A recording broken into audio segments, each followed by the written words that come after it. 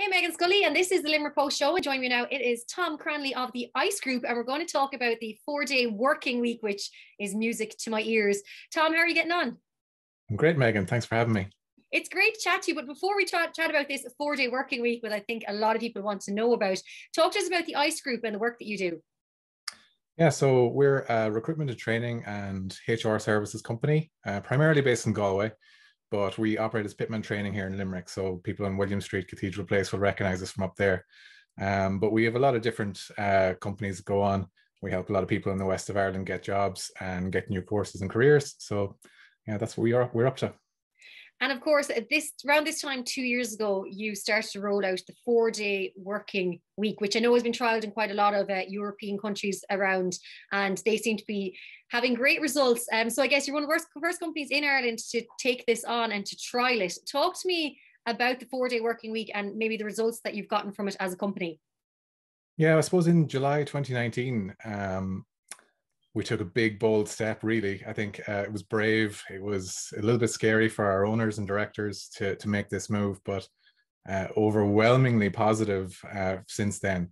I mean i remember the day well being in the room. Um, you know we didn't know this announcement was coming and it was utter shock and our director will tell you that it was complete stunned silence because people thought you know we were maybe we were losing a day of work rather than anything else but it turned out that it was a well thought out plan. They had, you know, picked up all of the potential positives and negatives that we could have had.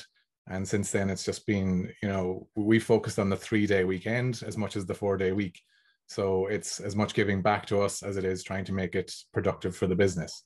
Uh, so we we work hard during the week, and then we have our well-being time at the weekend. Uh, and and luckily, uh, we got to choose whether we wanted the Friday or Monday.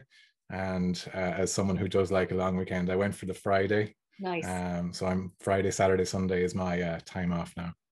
That's absolutely incredible. And I suppose as a company, and when it comes to performance, did you find that performance has gone up because of this, and because maybe people are probably maybe happier having a three day weekend?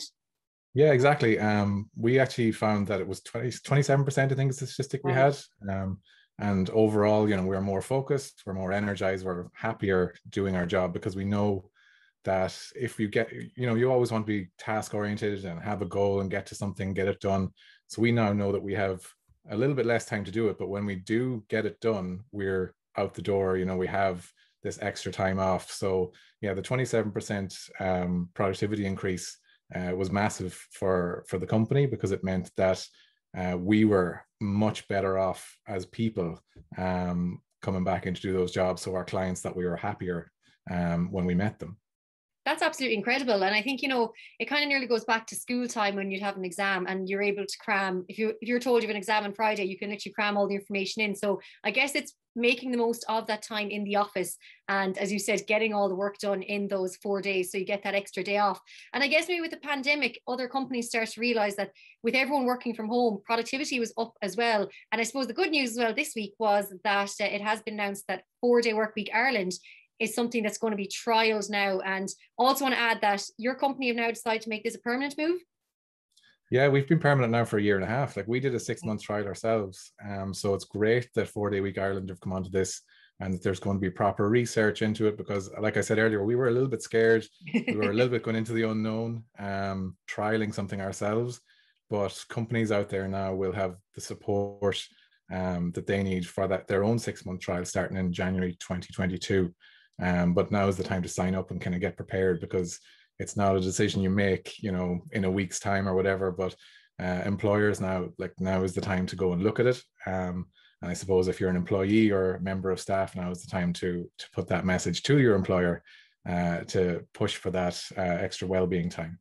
I think it will be incredible. And as you said, 27%, I mean, the stats are there to prove that productivity is even better. And as I said, having that extra day at the weekend would probably mean so much to people, especially people who live maybe in different counties away from their family, those who maybe have their own children as well. It gives them that extra quality and that extra time. And I believe there's been some funding put forward as well.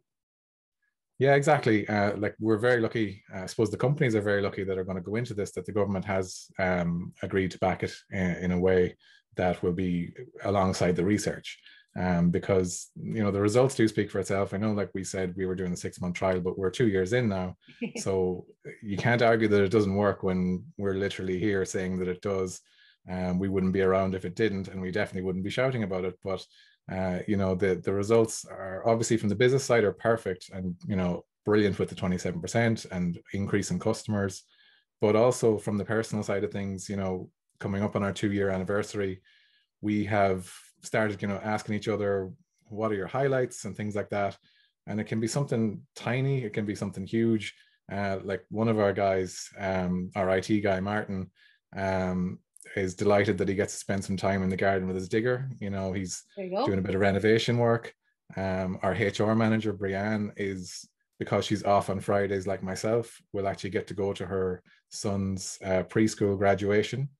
Uh, you know, whereas normally the childminder might have had to go to that. Um, and then uh, I've been quoted as saying I got a, a, degree because I have my time off. So, uh, you know, you, you, you, you, get these different achievements for different people. So, um, it's uh, it's it's all positive. It's just, I suppose, adding quality to our lifestyles as well. So, Tom, if any companies or employers or employees are watching this right now and thinking, okay, maybe this is something we could do. How can they get involved or maybe apply or, or you know, maybe give give the trial a go? Yeah, I mean, if they want to look at our story, we have four day week with the number four.ie, four day week.ie. But if they want to actually go and find out more about the trial, it's F O U R, the four day week.ie. Uh, and they can find out everything about the pilot program, all the research, all the other companies that are involved, and, and everyone that's supporting it as well. Super. Well, I'll include the link in the description box below as well. Tom Cranley of the ICE Group, thank you so much for chatting to us the Limerick Post Show. And I think, you know what, a four day working week, it sounds pretty good to, to a lot of people. So I think we're going to see a lot more of that happening in the coming years as well. Thanks, Meghann. Now's the time to ask for it.